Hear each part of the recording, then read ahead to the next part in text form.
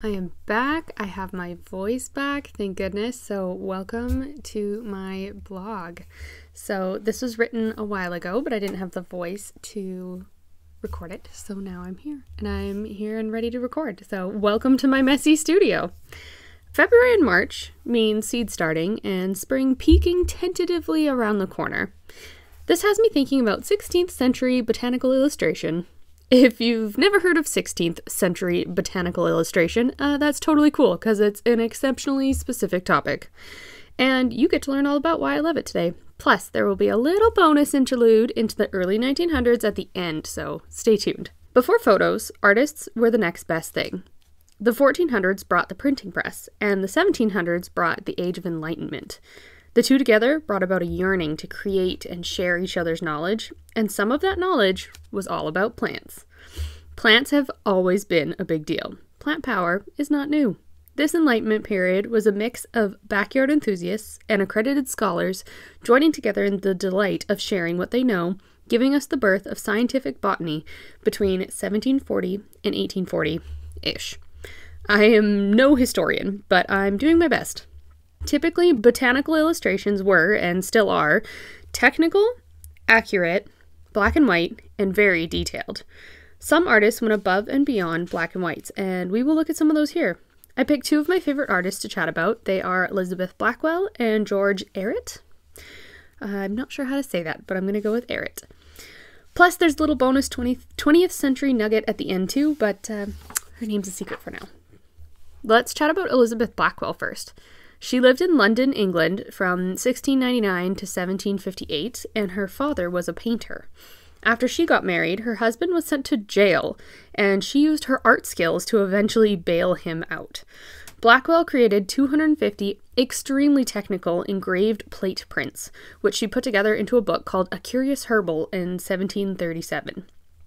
Her work was so technical and accurate that she ended up working with doctors to help them spread medical uses of plants and the identification of their poisonous counterparts. If you have no idea what I meant by engraved plate prints, uh, I got you. Remember talking about the printing press at the beginning? Well, old printing presses used essentially huge stamps to create books. Blackwell drew her pieces on paper, transferred them onto, usually copper, plates, then hand carved them out.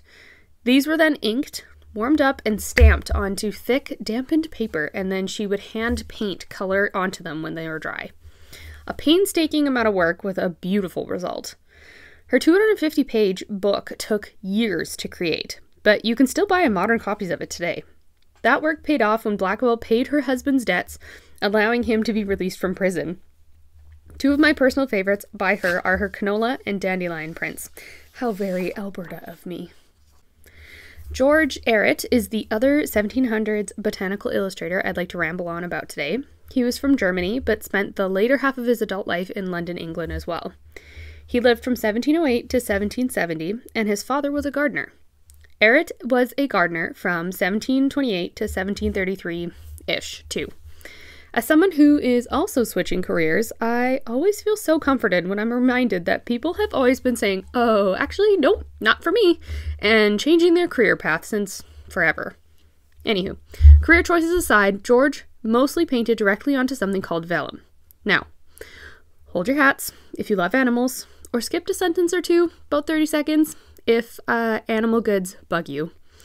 Vellum is usually made from the hide of a young goat or a young cow. It was then treated and essentially bleached, stretched, and cured. Being made from something fauna, vellum is has collagen in it, making it super smooth and incredibly durable. Most constitutions were slash are still on vellum today because it's so durable. Imitation vellum, also sometimes called Japanese vellum or plant vellum, came in the late 1800s as far as I can tell.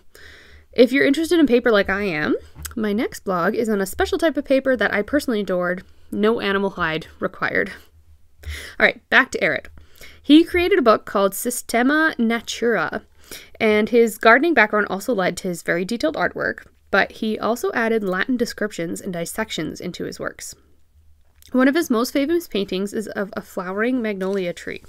Quote, observed the magnolia grandiflora flowering on August 1737. Ehret traveled every day from Chelsea to observe all the different stages from bud to full flower. End quote. From the Botanical Arts and Artists about George Dionysius Ehret. His magnolia painting and his fig tree painting are my two personal favorites.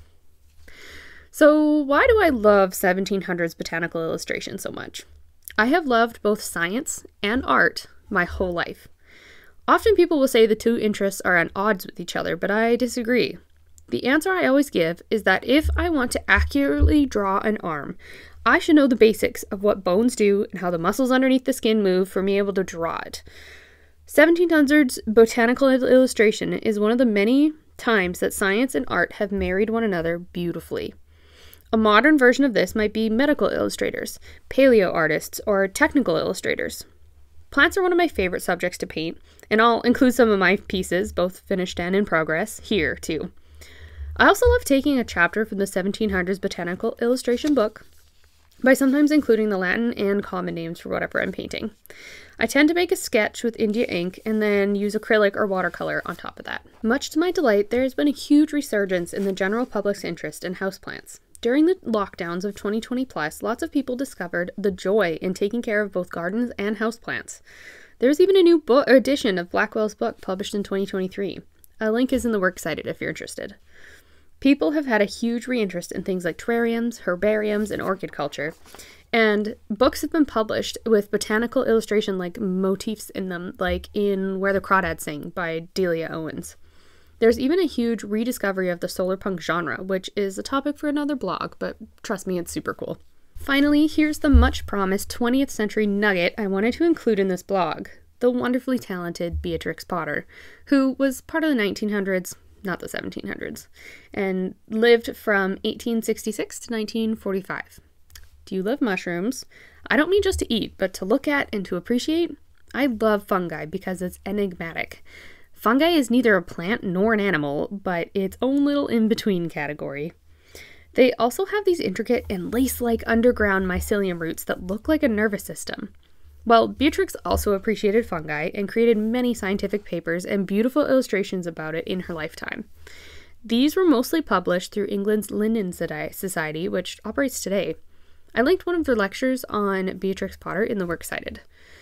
It's a great listen, and it dives more into her background and her works.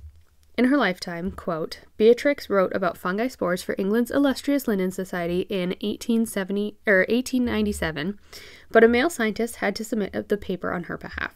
End quote. From Fantastic Fungi's The Mycology Adventures of Beatrix Potter. Regardless, she still hailed for her was hailed for her attention to detail and incredible accuracy. In fact, quote, to this day, Potter's remarkable fungi illustrations are studied for their scientific accuracy and consulted by many mycologists all over the world. End quote, Pavlova Maria. All this being said, you might have recognized her name because she was also the author and illustrator of the famous children's series Peter Rabbit. Thanks for reading or listening. Be curious and kind.